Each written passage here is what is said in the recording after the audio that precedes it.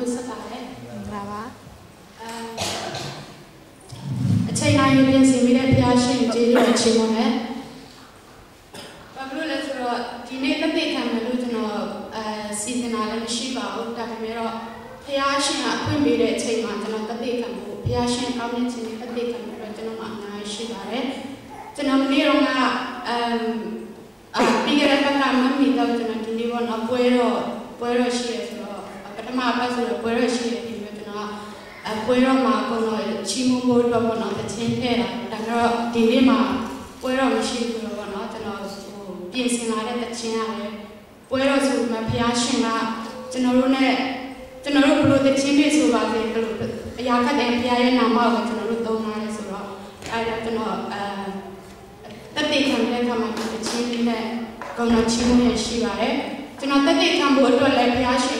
ခွင့် ပြုတဲ့အတွက်ကျေးဇူးတော်ချီးမွမ်းတယ်အရင်ကကျွန်တော်စိတ်ထဲမှာအများအားပေါ့နော်ဟိုဖြစ်မိတယ်ပေါ့နော်အင်းတော်မှာတစ်လားတစ်ခါတော့ဖြစ်ဖြစ်ပေါ့နော်ကျွန်တော်တို့တက်တိခံအဲ့လိုမျိုးပေါ့နော်ဘာလို့လဲဆိုတော့ဘုရားရှင်ကကျွန်တော်တို့ရဲ့အင်းတော်မှာရှိတဲ့သူရောက်စီတိုင်းမှာကြီးမားတဲ့အလုပ်ကိုဘုရားရှင်ရဲ့ရောက်စီတဲ့အထက်မှာတုံ့နေတယ်ဆိုတော့အဲ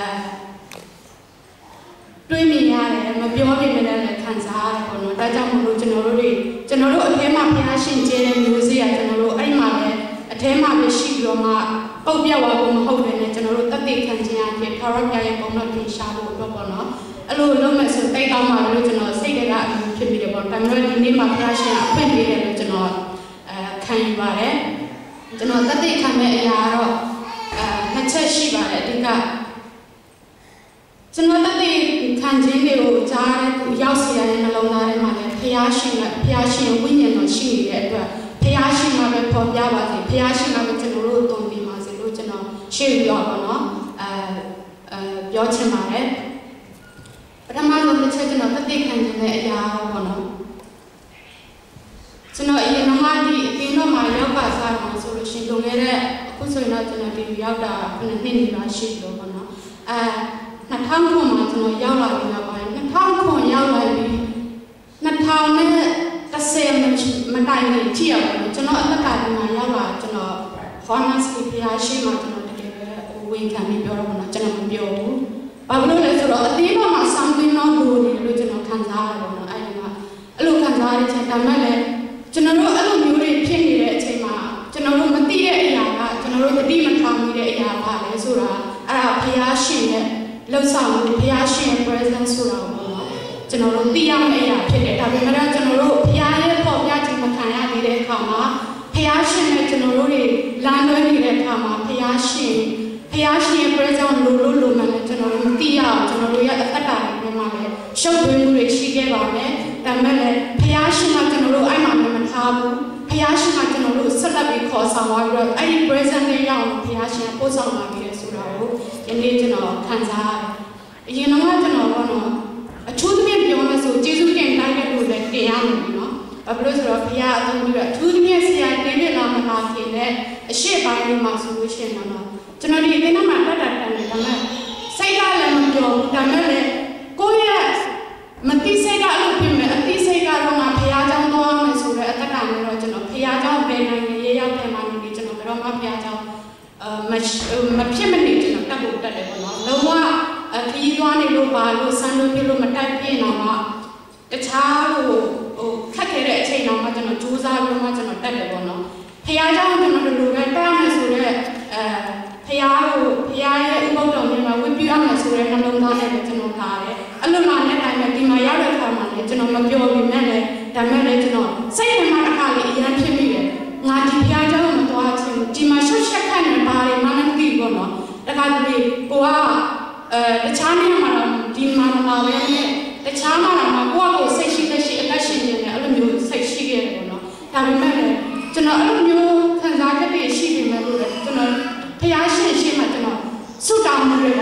ပေါ့နော်ဖះရှင်ဘာတွေဘာတွေလဲပေါ့နော်အဲအဲ့လိုမျိုးတွေမိဖို့နဲ့ကျွန်တော်နေခဲ့ဒါပေမဲ့တော့ဖះရှင်ကသူ့အချိန်ရောက်လာတဲ့အခါမှာဖះရှင်အလုပ်လုပ်တယ်ဆိုတာပေါ့နော်ကျွန်တော်ခံစားရတယ်။ဘာကြောင့်လဲဆိုဖះရှင်ကကျွန်တော်ရဲ့ခေါ်တဲ့ကျွန်တော်ရဲ့မိဖို့တွေဘယ်တော့မှအဲ့လိုလုပ်တဲ့ဖះမဟုတ်ဘူးဆိုတာပေါ့နော်ကျွန်တော်ခံစားရတယ်။ဒါကြောင့်မလို့နောက်ပိုင်းမှာကျွန်တော်တို့ပေါ့နော်အခုလိုနေတဲ့တောင်းလေးဒီတုံးလေးနှစ်ပိုင်းမှာဆိုကျွန်တော်တို့အသင်းတော်ရတာပေါ့နော်ဖျားရှင်ကြီးမားစွာအလုပ်လုပ်ပြီးတော့ ပြောင်းလဲခြင်းတွေပြုပြင်ခြင်းတွေ restoration တွေဘုရားရှင်ပြန်လုပ်ပြီးတယ်ဆိုတာကျွန်တော်တွေ့နေရတယ်။ဘာလို့လဲဆိုတော့အတင်းတော့မှကျွန်တော်ဒီအခုဆိုလို့ရှိရင်ကျွန်တော်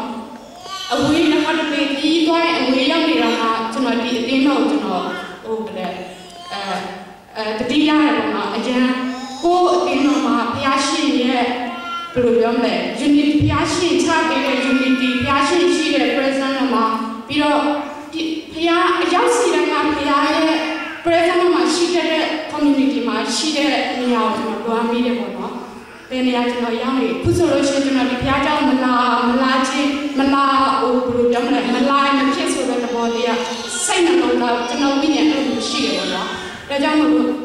ကျွန်တော်ကခံစားရတယ်ဆိုတော့ဘုရားရှင်မှာဘုရားတော်မှာပေါ့နော်လူတိုင်းမှာအပြစ်ပြုတတ်ပါတယ်ဇာတိရှိတယ် ကျွန်တော်တို့အသက်ကတည်းကမွေးကလေးကဇာတိနဲ့ပါတယ်ဆိုတော့ဒါကြောင့်မို့လို့ကျွန်တော်တို့ကအိမ်မှာလူလားဆိုတဲ့ဘုရားရှင်ကျွန်တော်တို့အထဲမှာအသက်ရှင်ဖို့လိုတယ်ဆိုတာပေါ့နော်လူသားတိုင်းအသင်းအောင်ဆရာဖြစ်ပါစေခေါင်းဆောင်ဖြစ်ပါစေလူငယ်ဖြစ်ပါစေဘယ်သူမဆိုအဲ့ဒီဘုရားကျွန်တော်တို့အထဲမှာကိန်းအောင်ဖို့လိုတယ်ဆိုတော့ပေါ့နော်ဒီဘုရားမရောက်လာခင်မှာကျွန်တော်တို့ကတော့လူတိုင်းမှာတော့အမျိုးမျိုးပုံစံကမတူတဲ့အခြေအနေကမတူတဲ့လူတိုင်းက အမျိုးမျိုးရှိခဲ့ဘုရားရဲ့ဥဆောင်မှုရှိခဲ့ပေါ့နော်ကိုဟာကိုဥဆောင်ပြီးအသက်ရှင်နေတဲ့အသက်တာတွေရှိခဲ့ဒါပေမဲ့တော့ဘုရားရှင်ကအေရှိချာရမှာပြောတဲ့အရာတွေအတိုင်းပေါ့နော်ငါရဲ့ဝိညာဉ်ကိုတင်တို့ရဲ့အထဲမှာထည့်ပေးမယ်ဆိုတဲ့ဘုရားရှင်ရဲ့တတိတော်ဟာကြားရလာတဲ့အခါမှာကျွန်တော်တို့အသက်တာတွေမှာတန်ရှင်းသောဝိညာဉ်တော်ဘုရားကျွန်တော်တို့ဖိတ်ခေါ်လိုက်ကြတဲ့အခါမှာပေါ့နော်ကျွန်တော်တို့ဒီမှာရှိနေအတင်းတော်မှာရှိနေကျွန်တော်တို့မိသားစုတွေအရောက်စီတဲ့ကလေးတငယ်လူကြီးရောက်စီတဲ့ပေါ့နော် ကျွန်တော်တို့ရဲ့အသက်တာထဲမှာဘုရားရှင်ရဲ့အတူပေါ့နော်ဘုရားရှင်ရဲ့တန်ရှင်းသောဝိညာဉ်တော်ဘုရားရဲ့လမ်းပြခြင်းကိုအရောက်စီတိုင်းခံစားနေရတယ်ဆိုတော့ကျွန်တော်ယုံကြည်တယ်ပေါ့နော်။ဘာလို့လဲဆိုတော့အခုဆိုလို့ရှိရင်ကျွန်တော်ပြန်ကြည့်လို့ရှိရင်မိသားစုတိုင်းကအထူးဖြင့်ဘုရားရှင်ကဘာလို့ခြင်းလဲဆိုတော့ကျွန်တော်တို့အသက်တာကိုခွတ်တော်ဘုရားလူစားတိခံပြီးကြွရဲ့လာရတဲ့အကြောင်းရင်းရတယ်ဘုရားရှင်ကသူနဲ့ relationship လို့ခြင်းတဲ့အသက်တာကိုကျွန်တော်တို့အသက်တာမှာဘုရားကမိသားစုတွေမှာ individual အသက်တာမှာအ သင်းတော်မှာကျွန်တော်တို့ဘုရားနဲ့ relationship ပြောက်ခဲ့တဲ့အချိန်မရှိတဲ့ဘုရားအချိန်လားဆိုလို့ရှိရင်ပေါ့နော်အသက်တာတွေကရှုပ်ထွေးပြီးတော့ပါတယ်မှမသိဒါပေမဲ့ဘုရားရှင်နဲ့ကျွန်တော်တို့တွေပေါ့နော်ဘုရားရှင်တကယ်လူချင်တဲ့အရာဘုရားရှင်က universal savior ဖြစ်တယ်လို့ individual savior လည်းဖြစ်တယ်ပေါ့နော်ဒါကြောင့်မလို့ကျွန်တော်တို့ကခွတ်တော်ကကဘာလုံးလူသားတွေအတွက်မြေကြီးစွန့်တန်လူသားအရောက်စီ တိုင်းတော့ကယ်တင်ဖို့ကြွလာကျွန်တော်တို့ individual အရောက်စီတိုင်းလည်းကယ်တင်ဖို့တော့ဘုရားရှင်ကြွလာခြင်းဖြစ်တယ်အထူးဖြင့်ဘုရားရှင် individual relationship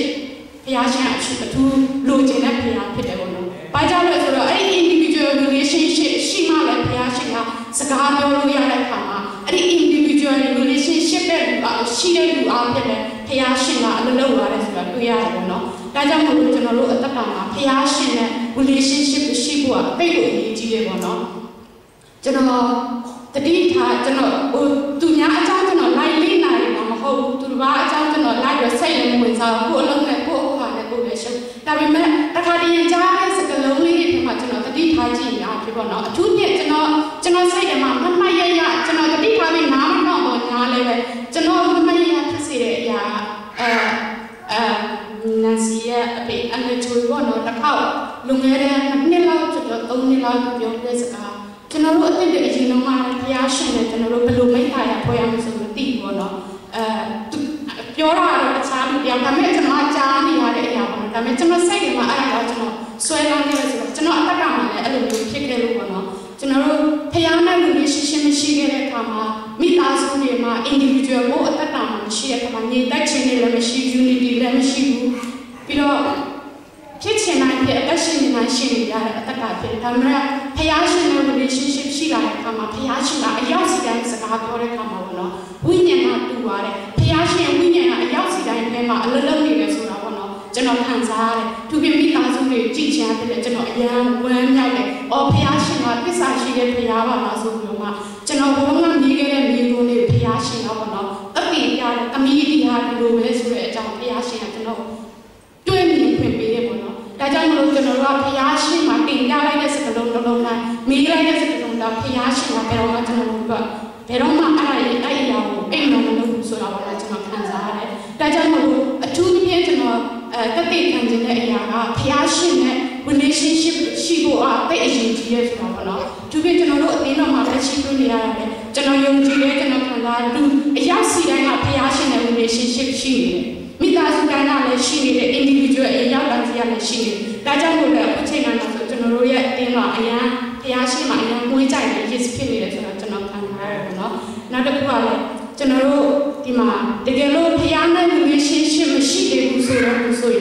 ကျွန်တော်မြတ်တာနဲ့ပြောချင်တာဖျားရှင်တဲ့အခြေအနေမှာဘာလို့လဲဆိုတော့ဖျားဒီအခုချိန်လောကကြီးကအတန်ပေါင်းဆုံးများစွာကျွန်တော်တို့ကြားနေရတယ်လူတွေရဲ့ idea တွေ philosophy တွေကျွန်တော်တို့ကြားနေရတယ်အမျိုးမျိုးကြားနေရတယ်ဒီထဲမှာကျွန်တော်တို့ confuse ဖြစ်နိုင်တယ်အထူးသဖြင့်ကျွန်တော်ပြောချင်တာတော့လူငယ်တွေပေါ့နော်ကျွန်တော်တို့မျိုးကျွန်တော်တို့အသက်ရလူငယ်အာ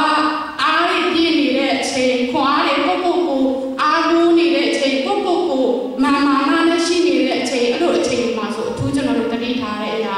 ငါတို့လုပ်ရရတယ်ငါတို့လေးလာရတယ်ငါတို့အရှာဖွေတွေ့ရှိတယ်ဆိုငါငါဆိုတော့ကျွန်တော်တို့ရပေါ့နော်ဟိုဘယ်လို ပြောမလဲအသက်အရွယ်နဲ့အတိုင်းအတာပေါ်မှာမူတည်ပြီးတော့ကျွန်တော်တို့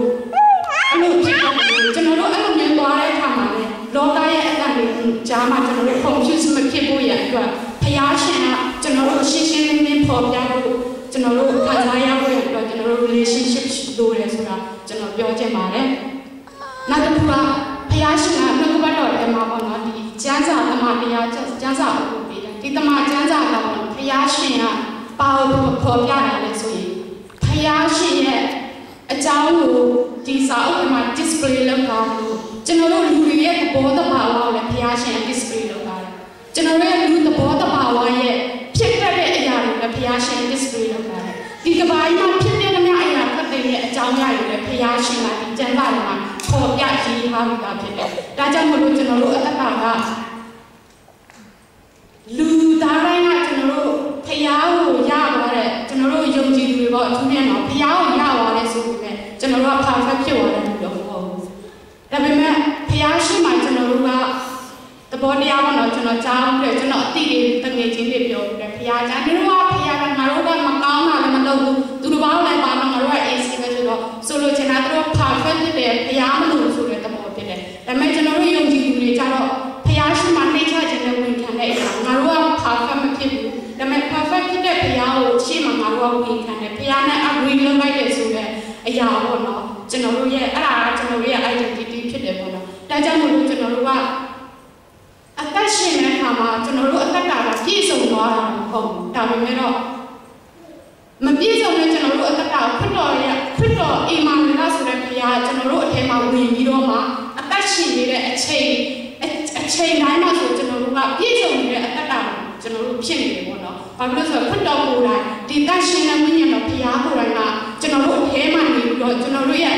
လုံးမဟုတ်တဲ့ဟာရလုံးချင်တယ်မလုံးပြအောင်လို့ကျွန်တော်တို့မာစားတယ်။ကျွန်တော်တို့မဟုတ်တဲ့အရာပြောဖို့ရအတွက်မပြောချင်အောင်ဘုရားရှင်ကမှသူ့ကိုယ်တိုင်အသက်ရှင်နေတဲ့အတွက်ဒါကြောင့်မလို့ကျွန်တော်တို့ကမပြည့်စုံတဲ့သူဖြစ်ပေမဲ့လည်းပြည့်စုံခြင်းအရာကိုရတယ်လို့ခရစ်ကျမ်းစာထဲမှာပေါ့နော်။ခွတ်တော်အပြင်ကျွန်တော်တို့ရတယ်လို့ပြောတာဒါကြောင့်မလို့ကျွန်တော်တို့ကခွတ်တော်ကိုအီမာနူလဘုရားကိုကျွန်တော်တို့နှလုံးသားထဲမှာနေရာပေးပြီးအသက်ရှင်နေပြရတော့ကျွန်တော်တို့ပြည့်စုံနေတဲ့အတိုင်းအတာ ပဲပြည့်စုံနေတဲ့ standard မှာရှိတယ်ကျွန်တော်တို့အဲ့ဒီခွတ်တော်ဘုရားအီမာနူလကအထဲမှာမရှိတော့ဘူးကျွန်တော်တို့နေရာမပေးတော့ဘူးဆိုကျွန်တော်တို့ကလောကလုံးနဲ့ပါမှမတူဖះကိုမသိတဲ့လူနဲ့ပါမှမတူဆိုတာပေါ့နော်ကျွန်တော်တို့တခါကြောင့်မလို့ကျွန်တော်တို့အသက်ကမှာလည်းကျွန်တော်တို့ perfect ဖြစ်တဲ့ဖះကိုကျွန်တော်တို့ရထားတယ်ဆိုပေမဲ့ကျွန်တော်တို့ပြည့်ရဲ့အသက်ကတစ်ခါလေးကျွန်တော်တို့ spiritual Friday ဖြစ်တဲ့ပေါ့နော်ငါတို့ကပြည့်ရဲ့ငါတို့ကပြည့်ဒါပေမဲ့ကျွန်တော်တို့ကပြည့်ရဟုတ်တယ်ဖះရဲ့ဂျေဇုတော်ထဲမှာကျွန်တော်တို့ကအဲ့ပြည့်စုံတဲ့ဂျေဇုတော်ထဲ မှာမပြည့်စုံတဲ့ကျွန်တော်တို့အသက်တာကိုထည့်လိုက်တဲ့အရာအသက်တာတွေဖြစ်တယ်ဒါကြောင့်မလို့ကျွန်တော်တို့က spiritual မှာလည်း proud ဖြစ်ဖို့လို့လို့ကျွန်တော်တို့အသက်တာမှာငါတို့ကပြည့်စုံတယ်လို့လည်းငါတို့ပြည့်စုံခြင်းဆိုတာကျွန်တော်တို့ကောင်းကင်ရောက်မှာအဲ့ဒီဆုံးခန်းတိုင်းအဆုံးဖြစ်တဲ့အဲ့ဒီ destiny ကိုရောက်တဲ့အခါမှာပဲကျွန်တော်တို့ကပြည့်စုံခြင်းတယ်လောကမှာနေပြီးတော့ကျွန်တော်တို့ကအဲ့အဲ့အိမ်မှာနေလာဖျားကိုနှလုံးသားထဲမှာအချိန်ပြီးနေရာပြီးအသက်ရှင်တဲ့အခါမှာနေရာပြီးသွားရတဲ့အချိန်မှာတော့ကျွန်တော်တို့ကပြည့်စုံတယ်ဒါကြောင့်မို့လို့အဲ့ဒီတန်ရှင်းသောဝိညာဉ်တော်ကျွန်တော်တို့ရဲ့အသက်ခါထဲမှာအစဉ်အမြဲထည့်လာဖို့ နောက်တစ်ခုကလည်းအဓိကအရာတော့နော်ဖျားရှင်ကကျွန်တော်တို့အသက်တာကခရစ်တော်ရတယ်ဆိုရင်ကျွန်တော်တို့ပြည့်စုံသွားတဲ့သူတွေတော့မဟုတ်ဘူး။ဒါပေမဲ့တစ်ဖြည်းဖြည်းခရစ်တော်ကအထဲမှာအသက်ရှင်နေတဲ့ကျွန်တော်တို့တွေအသက်တာမှာပြည့်ပြည့်စရာတွေရှိရင်ခရစ်တော်ကအထဲဝိညာဉ်တော်ကအမြဲတမ်းပြည့်ပြည့်နေတယ်ပေါ့နော်။ဒါကြောင့်မလို့ကျွန်တော်တို့ဖျားကိုအတန်တန်လို့လို့တော့သိအရေးကြီးတယ်။ဘာကြောင့်လဲဆိုတော့တချို့ကကျတော့ငါဖျားကိုရပြီးကြံနေရတယ်လို့တော့ဆိုတာလေအဲ့ဒီအတွေးခေါ်တွေပဲဆိုဆိုတော့ဒါကြောင့်မို့ကျွန်တော်တို့ရဲ့ mind ကိုလည်းကျွန်တော်တို့ကအထူးတတိထားလို့တာပေါ့နော်ဖျား ရှိမှကျွန်တော်တို့ခန္ဓာစိတ်ဝိညာဉ်လုံးပါလို့လိုချင်တဲ့ဖျားလို့ပြောတဲ့အခါမှာကျွန်တော်တို့ကတမန်တရား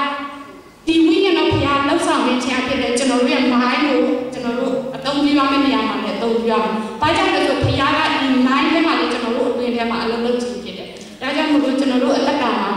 ဖျားရှင်ကိုအစဉ်နဲ့အချိန်ပေးပြီးတော့မှဖျားရှင်နဲ့ကျွန်တော်တို့ဒီဒီဒီတရှင်တော်ဝိညာဉ်တော်ဘုရားရဲ့ဥဆောင်မှုကိုကျွန်တော်တို့အစဉ်နဲ့လမ်းပြ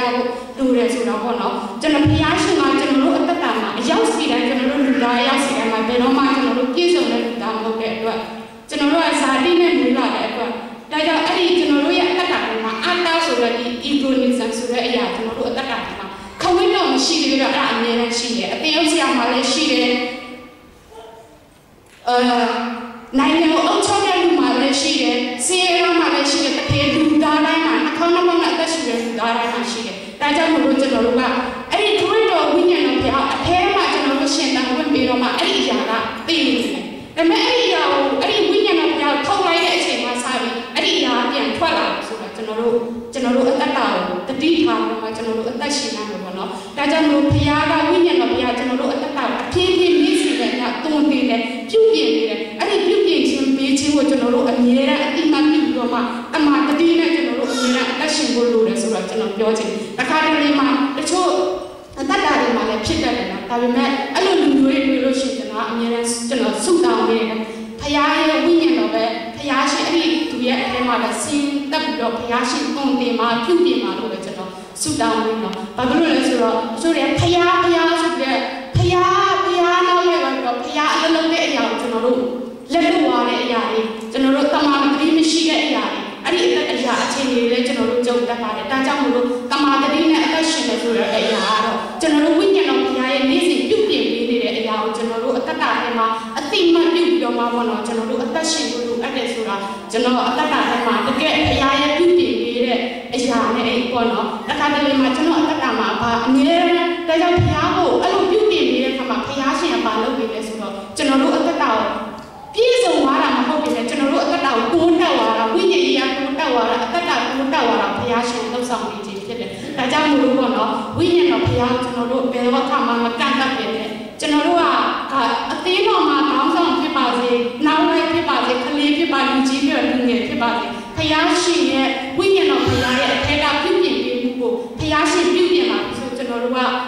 အာဖះရှင် agree ဖြစ်ပါတယ်ဆိုတဲ့အတိုင်းကျွန်တော်တို့ဝန်ခံမှုတိတ်အကြီးရဲဆိုတာပေါ့နော်ကျွန်တော်အတက်ကမှာဟို example လေးတစ်ခုနဲ့ကျွန်တော်ပြောပြချင်တာအရင်တော့ကပေါ့နော်အရင်တော့ကမဟုတ်ပေါ့နော်တော်တော်များဒါပေမဲ့အဲ့ဒါဖះကကျွန်တော်ပြန်ပြောတယ်အရင်တော့ကျွန်တော်အတွေ့အဘယ်လိုမျိုးရှိလဲဆိုတော့လူတယောက်ကို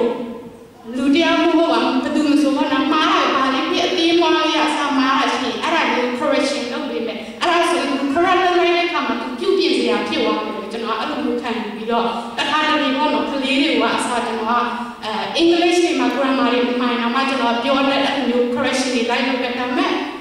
အဲခံယူတဲ့လူအတော့ကတော့ပြုပြင်စရာရှိတော့ပြုပြင်ပါမှာဒါပေမဲ့လူတိုင်းကသူ့လိုစိတ်ဓာတ်မရှိဘူးဆိုတော့အဲ့ဒီလူကဘာဖြစ်သွားစေလဲဆိုတော့နာဘယ်လိုပြောမလဲစိတ်ထဲမှာမလဲ comfortable မဖြစ်တဲ့အရာကိုအဲ့ဒီအဲ့ဒီလူထဲမှာခံစားရတယ်ကျွန်တော်ခံစားရတယ်ပေါ့ ခံစားရတဲ့ဖျားရှင်ပဲကျွန်တော်ပဲတုံ့တင်တယ်ပေါ့နော်ဖျားရှင်နေရာမှာမှာကိုတိတိုင်းလည်းမလုံးနဲ့ကိုတက်တိုင်းလည်းမလုံးနဲ့ဟိုကလေးဖျားလုံးတဲ့အချိန်မှာလည်းလုံးပါဆိုတာပေါ့နော်ဖျားရှင်ကအဲ့အရာကိုကျွန်တော်ကိုတုံ့တင်သွားတဲ့အခါမှာကျွန်တော်ပါအကြီးကျယ်ခံစားရတယ်ဆိုတော့အော်ဖျားရှင်ကကျွန်တော်တို့ရဲ့တက်တာမှာဝိညာဉ်တော်ဖျားကကျွန်တော်တို့နေ့စဉ်ပြုပြင်ပေးနေတဲ့နေ့စဉ်ဖျားရှင်ကလမ်းပြတဲ့အသေးမွားလေးအစားအစားဖျားရှင်ပြုပြင်ပြီးတော့သူ့နဲ့ပို့ပြီးမိကဖျားရှင်ပြုပြင်ခြင်းဖျားရှင်စေခံခြင်းကသူတစ်ပါးကိုထိခိုက်မှုမရှိဘူးသူတစ်ပါးကိုကိုယ့်ရဲ့မျက်စိနဲ့ negative ဆန်တဲ့အရာမမြင်ဘူးသူတစ်ပါးကိုကျွန်တော်တို့ judgment ဟိုအတွေးခေါ်နှလုံးသားနဲ့မကြည့်ဘူးဆိုတာဖျားရှင်ကကျွန်တော်တို့သုံးသင်ပါတယ်ပေါ့နော်ဒါကြောင့်မို့လို့ဖျားရှင်ရဲ့ပြုပြင်ခြင်းတန်ရှင်တော်ဝိညာဉ်တော်ဖျားကျွန်တော်တို့ပြုပြင်ခြင်းဆိုတာကျွန်တော်တို့ရဲ့ပတ်ဝန်းကျင်ကျွန်တော်တို့မှာပတ်သက်တဲ့လူတွေတယောက်မှနာကျင်ခြင်းမရှိဘူးတယောက်ကိုမှလည်းဖျားကအဲငါပြောလိုက်တယ်တချို့ရရှိရပါတော့ဖျားခိုင်းတယ်ဖျားပြောခိုင်းတယ်ဒါပေမဲ့အဲ့ဒီလူတွေတိဆောက်ရမှာဖြစ်လို့ရှိရင်အဲ့ဒီအရာဖျားပြောခိုင်းခြင်းမဟုတ်ဘူး။ဒါကြောင့်မလို့တန်ရှင်တော်ဝိညာဉ်တော်ကကျွန်တော်တို့တုံ့တင်ပြီးဆိုရင်နုနုညံ့ညံ့လေးနဲ့အားလုံးကိုငြင်းငြင်းချမ်းချမ်းနဲ့ချစ်ချင်းမေတ္တာနဲ့ဖျား ရှင်တုံ့တင်သွားတယ်ဆိုတာပေါ့နော်ကျွန်တော်အရင်ခံစားရတယ်အတိတ်ကဖျားရှင်ဘိုက်ကတော့သူရဲ့ချစ်ချင်းမေတ္တာပေါ့နော်ကျွန်တော်တို့ကဘာလဲလို့ဘာပြောပြောချစ်ချင်းမြတ်တာတော့မရှိလို့ရှိရင်ကျွန်တော်တို့ကဘာလဲခေါင်းလို့ရှိရင်အတန်ကြီးပဲဘာမှဟိုလည်းအရာတာမရှိအတိတ်ပဲမရှိတဲ့အရာတွေပဲဖြစ်တယ်ဆိုတာပေါ့နော်နောက်ဆုံးတော့ဘုရားရှင်အတိတ်ကပြောချင်တာအတိတ်ကကျွန်တော်ရဲ့ point ကတော့ဘုရားကိုယ်တိုင်ပြောချစ်ချင်းမြတ်တာရှိတယ်ဖြစ်တယ်ကျွန်တော်တို့ပြောဆိုတဲ့နှုတ်ကပတ်တော်အားလည်းဘုရားရှင်ချစ်ချင်းမြတ်တာ၌ပြောဆိုခြင်းမဟုတ်ဘူးဆိုရင်လည်းအဲ့ဒီအရာက သူတစ်ပါးတော့အနာတန်ရာရပါစေနဲ့သူတစ်ပါးတော့နာချင်ပါစေနဲ့သူတစ်ပါးတော့ဒီဆောက်စီရမှာဖြစ်နေတယ်ပေါ့နော်အခါတလေမှာဘုရားရှင်ဘုံတော်ရှုံးချစေတာဖြစ်နိုင်တယ်ဆိုတော့ပေါ့နော်ဒါကြောင့်ဒီဘုရားရဲ့တကယ်ကုန်တင်မှာခံတယ်ဆိုသူဘာမှထိခိုက်ဘူးအထူးဖြင့်ချစ်ချင်းမြတ်တာမှာတည်ရဲဆိုတာကျွန်တော်ခံစားရတယ်ပေါ့နော်ဒါကြောင့်မလို့ကျွန်တော်ခံစားရတဲ့အတိုင်းဘုရားရှင်ကျွန်တော်ကိုကျွန်တော်ကုန်တင်တဲ့ဝိညာဉ်ဟိုဘယ်လိုပြောမလဲပြုပြင်ပေးတဲ့အရာကရှင်တော်ဝိညာဉ်တော်ဘုရားရဲ့အကန့်အသတ်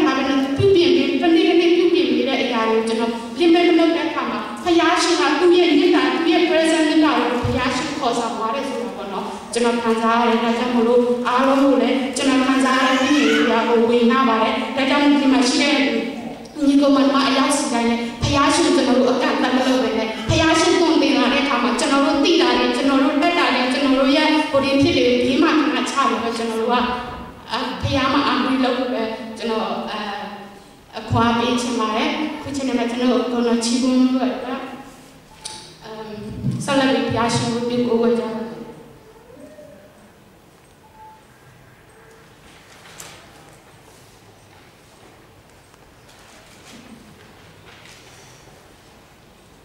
sorry ကျွန်တော်ထင်တဲ့အဲအချိန်ကများပါရောနော်ကောင်းတော့နောက်တစ်ခါမှပဲချီးမွမ်းတော့ပါမယ်လို့ခုဆက်လက်ပြီးတော့မှဘုရားရှင်ကောင်းတဲ့ခြင်းတတိခံမှုရဲ့အတွက်နောက်တစ်ယောက်ဖိတ်ခေါ်ပါတယ်